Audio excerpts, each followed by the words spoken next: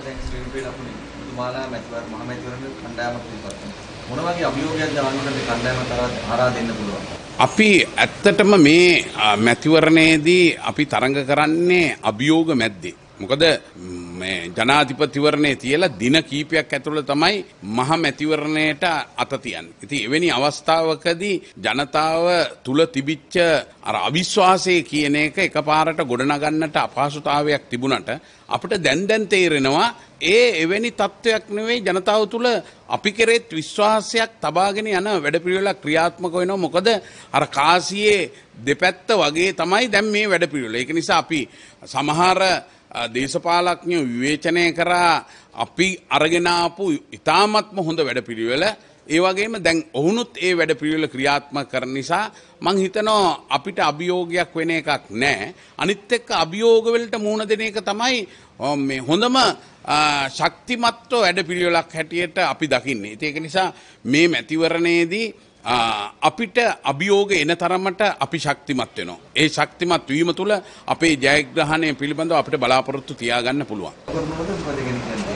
අපි පැහැදිලිවම මේ අන්රු කුමාර අ, අපේ වර්තමාන ජනාධිපතිතුමාගේ හොඳ වැඩපිළිවෙල් වලට අ, කොන්දේසි විරහිතව සහයෝගය ලබා දෙනවා. කවුරු විරුද්ධ වුණත් නැතු වුණත් මම පැහැදිලිවම කියන කාරණයක් තමයි හොඳ දේ හොඳයි කියන්න ඕනේ නරක දේ නරකයි කියන්න ඕනේ. ඒ වගේම හොඳ දෙයක් ක්‍රියාත්මක කරනවා නම් ඒක ඒද බීද සීද කියන එක එහෙම නැත්නම් රතු පාටින්ද නිල් පාටින්ද කොළ පාටින්ද නැත්නම් වෙනත් පාටකින්ද කියන එකට වඩා වැදගත් වෙන්නේ රට ඉල්ලන හොඳ දේ ලබා දෙන්න. ඉතින් ඒක නිසා මේ රටේ ජනතාවත් බලාපොරොත්තු වෙලා ඉන්න බලාගෙන ඉන්න අපි කොහොමද ජනාධිපෙත්තුමාට සහයෝගය ලබා දෙන්න කියලා. ඉතින් ඒක නිසා අපි ජනාධිපෙත්තුමාට සහයෝගය ලබා දෙනවා. තාම අපි ජනාධිපෙත්තුමා පිළිබඳ විවේචනය කරන්න ඒ තරම් කාලයකුත් නෙවෙයි. අපි එහෙම වැරදි විදියට විවේචනය කරන්න බලාපොරොත්තු වෙන්නෙත් නැහැ. හැබැයි අපිට දැනට ද- දැනගන්නට සහ දැනට දකින දේවල් එක්ක බලනකොට ටිකක් පොඩි කලකිරීමකුත් ඇති වෙනවා.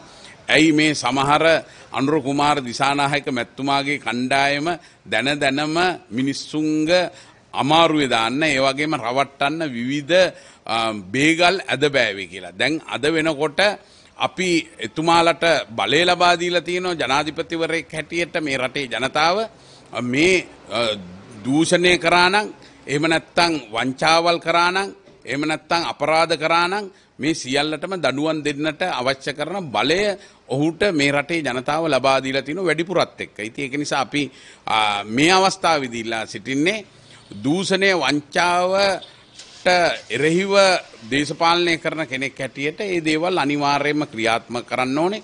ඒවා ත- තරාතිරම නොබලා එවැනි වැරදි කරපු කවුරු හරි ඉන්නවනම් මේ දේශපාලඥයෝද එහෙම නැත්නම් රාජ්‍ය නිලධාරීන්ද නැත්නම් වෙනත් කණ්ඩායම් ඉන්නවනම් ඒ අයට නීතිය ක්‍රියාත්මක කරන්න ඕනේ. ඒ නීතිය ක්‍රියාත්මක කරනකම් අපිත් බලා බලාගෙන ඉන්නවා.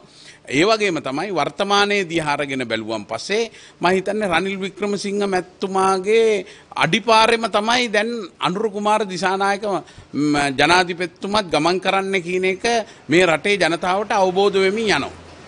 එතුමා රනිල් වික්‍රමසිංහ මැත්තුමාගේ අ, ඒ දේශපාලන සමාජීය ආර්ථික ප්‍රතිපත්ති විවේචනයට ලක්කරාට එතුමා සහ එතුමාගේ කණ්ඩාමේ අය අද වෙනකොට මෙතෙක්කල් ගත්ත තීන්දු තීරණත් එක්ක බලනකොට පැහැදිලිවම පේරන- පේන කාරණය තමයි ඒ වැඩපිළිවෙලම ඉදිරියට ගෙනියන එක. ඉතින් ඒක නිසා අපි සතුටු වෙනවා. මොකද හොඳ වැඩපිළිවෙලක් අ, රනිල් වික්‍රමසිංහ මැතිතුමා ක්‍රියාත්මක කරගෙන ගියා. ඒ වැඩපිළිවෙලම එතුමාලාත් ක්‍රියාත්මක කරනවා. ඉතින් ඒක නිසා අපි ඒ දවස්වල නම් එතුමාලාට කිව්වේ හොඳ දේවල් වලට සහයෝගය දෙන්න කියලා. හැබැයි හොඳ හැම දෙයකටමත් නරක දෙයකටමත් ඒ අය කරේ විවේචනය කරන එක ඒ කියන්නේ සාම්ප්‍රදායික විපක්ෂයේ කාර්යභාරය තමයි ඉටු කරේ. ඉතින් ඒක නිසා අපි පැහැදිලිව කියන්න ඕන කාරණය තමයි අපි මොන හේතුව නිසාවක්වත් එතුමාට කකුල් මාට්ටු දාන්න කකුලෙන් අදින්න එහෙම නැත්නම් එතුමා අරන් යන හොඳ වැඩ පිළිවෙලට බාධා කරන්නට කොහෙත්ම යන්නේ නැහැ. ඒක නිසා මේවා තමයි මම හිතන්නේ හෙට දවසේ වෙනකොට රටේ ජනතාව තීරුම් ගන්න ආ, ප්‍රශ්න ගැටලු ඉතින් ඒක නිසා ඒවට මූණ දෙන්න මං හිතන්නේ ඉදිරියේදී මේ කණ්ඩායමට හැකියාව ශක්තිය ලැබේවා කියලත් ප්‍රාර්ථනා කරනවා. මොන වගේ ආකාරයෙන්ද ශ්‍රී ලකුණු මුතුමාලා තරහ කරන්නේ? කොහොමද මැතිවරණ වැඩපිළිවෙල සහ රටේ වර්තමාන ආර්ථික වැඩපිළිවෙල ගැන ඔබතුමා දක්න දේ මොකක්ද? අපේ මේ වන විට මං හිතන්නේ අවශ්‍ය නාම යෝජනා සකස් කරගෙන ආ, සිලින්ඩරේ ලකුණ යටතේ තරඟ කරන්නට අවශ්‍ය කරන කටයුතු අපි මේ වනට ඉටු කරලා තියන්නේ.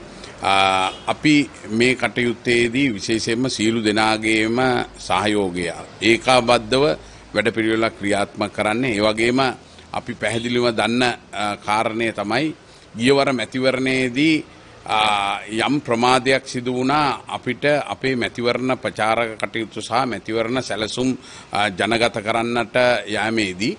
එක නිසා අපි මේ මැතිවරණයේදී ආ, ඒ අවශ්‍ය අඩුපාඩු පිළිබඳව අවබෝධයෙන් යුතුව ආ, සිතලා දැම් මේ වන විට ඒ අවශ්‍ය කරන සියලු සැලසුම් සකස් කරලා තින්නේ.